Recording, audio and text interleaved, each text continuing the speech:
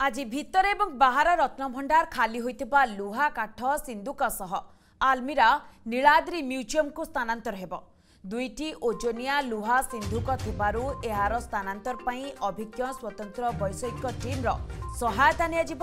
ଏହି team Srimandir engineering team ସହ ଚୂଡ଼ାନ୍ତ ଆଲୋଚନା କରିଛନ୍ତି। ଆଜି ଅପରାହ୍ନ ଗୋଟାଏରୁ ସ୍ଥାନାନ୍ତର ପ୍ରକ୍ରିୟା ଶେଷ ହେବା ପର୍ଯ୍ୟନ୍ତ ସର୍ବସାଧାରଣ ଦର୍ଶନ ବନ୍ଦ ରହିବ। ମହାପ୍ରସାଦ କ୍ରୟ କରିବାକୁ ଇଚ୍ଛୁକ ଭକ୍ତମାନେ ସିଂହଦ୍ୱାର ପଟେ ବାଇଶି ପାହାଚ ଦେଇ ଆନନ୍ଦ ବଜାରରୁ ମହାପ୍ରସାଦ କ୍ରୟ କରି ଉତ୍ତର ଦ୍ୱାର ପଟେ ଉକ୍ତ ସମୟରେ ପ୍ରସ୍ଥାନ କରିପାରିବେ। ରାଜ୍ୟ ସରକାରଙ୍କ ଅନୁମୋଦିତ ମାର୍ଗଦର୍ଶିକା ଅନୁସାରେ ଏହି ସ୍ଥାନାନ୍ତରଣ ପ୍ରକ୍ରିୟା ଅନୁଷ୍ଠିତ ହେବ। ଖାଲି ଆଲମିରା ଏବଂ ସିନ୍ଦୁକଗୁଡ଼ିକୁ ଭିତର ଏବଂ ବାହାର ରତ୍ନଭଣ୍ଡାରରୁ ସ୍ଥାନାନ୍ତରଣ କରାଯାଇ ଶ୍ରୀମନ୍ଦିର ପରିସରରେ ଥିବା ନୀଳାଦ୍ରି ମ୍ୟୁଜିୟମ ନିକଟସ୍ଥ ଏକ ଗୃହରେ ସୁରକ୍ଷିତ ରଖାଯିବ। ଗତ ଜୁଲାଇ ଚଉଦ ଏବଂ ଅଠର ତାରିଖ ଦିନ ଯଥାକ୍ରମେ ବାହାର ଏବଂ ଭିତର ରତ୍ନଭଣ୍ଡାରରୁ ରତ୍ନ ସ୍ଥାନାନ୍ତରଣ ହୋଇଥିଲା।